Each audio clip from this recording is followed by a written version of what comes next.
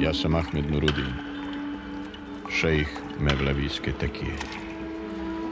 Htio sam da pitam za brata, Brata? Kakvog brata? moga brata. Čuo sam da je učinio nešto što možda nije trebalo da učini. Ja ne znam šta je učinio, ali ne vjerujem da je nešto teško.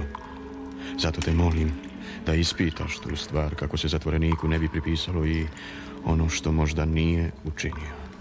Brat veliš. Zatvoren?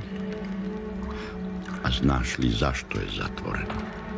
Došao sam da pitam. Eto. Ne znaš ni zašto je zatvoren, a dolaziš da moliš, bez obzira na to šta je učinio. Nisam došao da molim. Hoćeš li da ga optužiš? Neću. A možeš li da navedeš svjedoka za njega ili protiv njega? Da ukažeš na druge krivce ili saučesnike? Ne mogu. Šta onda hoćeš? Šta hoću? Nije trebalo da kažeš. Je li zločin upitati za brata? Ma šta da je učinio?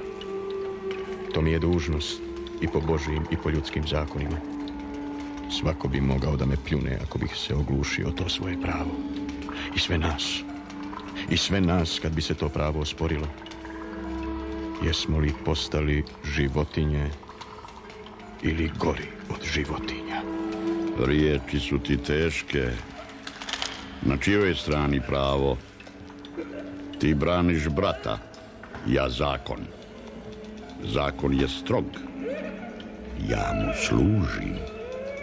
Ako je zakon strog, treba li mi da budemo kurjaci? Je li kurijački braniti zakon ili ga napadati kao ti?